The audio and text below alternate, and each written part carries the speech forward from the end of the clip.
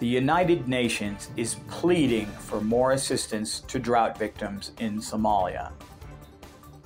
In just a month, the number affected by this situation has risen by over a million to 4.3 million total. Over 270,000 have fled their homes in search of water and sustenance. The UK has contributed $18 million over the last three weeks. Much of it goes to cash payments so that locals affected can buy food and water. The United Nations Central Emergency Response Fund has allocated $25 million in aid. The Somalia Humanitarian Fund has also donated $6 million. Malnutrition and starvation threaten many of those affected. Three straight poor rainy seasons have put much of Somalia in danger from the drought.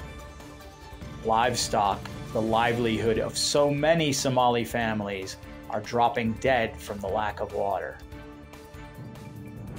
Prime Minister Mohamed Roble declared a state of emergency because of the situation late last year. Thousands of children are also not able to attend school, handicapping their future. Sanitation and hygiene are also affected, worrying health officials about the spread of disease.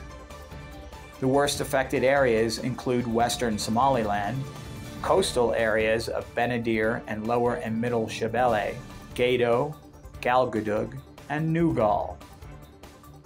The next rains aren't expected until April of this year.